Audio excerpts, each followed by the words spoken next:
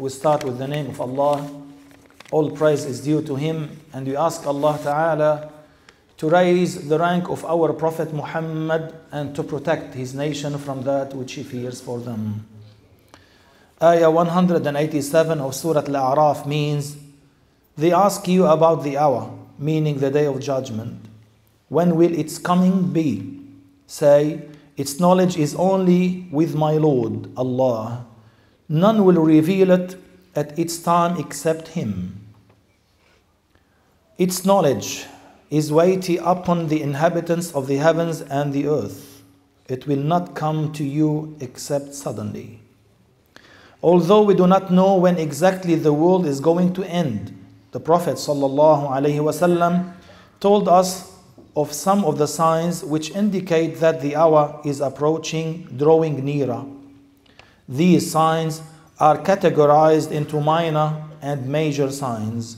The minor signs are those which start occurring a long time before the day of judgment, while the major signs are those which will occur closer to the day of judgment. And they are bizarre and remarkable.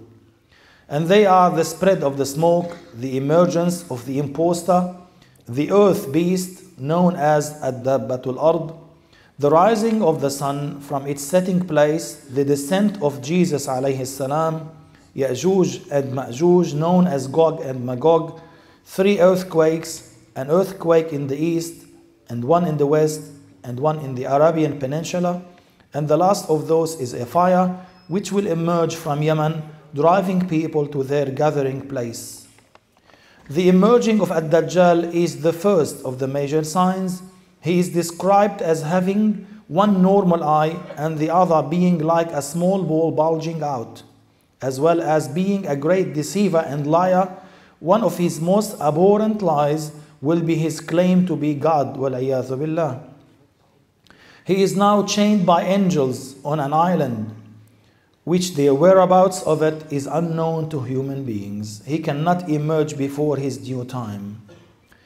At that time, hunger will spread on earth. However, the followers of Ad-Dajjal will not be affected. However, the Muslims who belied and rejected Ad-Dajjal will experience the hunger, but they will be relieved from it by praising and glorifying Allah Ta'ala. This will also be their means of nourishment. Therefore, this state of hunger will not have any side effects upon them. As for Ya'juj and Ma'juj, they will inflict a lot of calamities on people when they come out to them. Ya'juj and Ma'juj are of the human race and have many offsprings, all of which are blasphemous. It is mentioned that they are such a large population that on the day of judgment, the ratio of Ya'juj and Ma'juj compared with the common humans will be 100 to 1. In another narration, 1000 to 1. The people of Ya'juj and Ma'juj have been alive for many thousands of years and are isolated from other humans by the will of Allah. They are seized in a place which has not been yet discovered. Separating them from us is a huge wall of steel hardened with an added cast of copper built by Dhul Qarnayn, who was a very pious Muslim. It's mentioned that this wall is so magnificent in strength and size that none of the inhabitants behind it could climb over it. But by the will of Allah, one day they will successfully open for themselves a passage out through its wall. Thankfully, as Muslims, we are being taught by the Prophet ﷺ not to be impressed by Ad-Dajjal.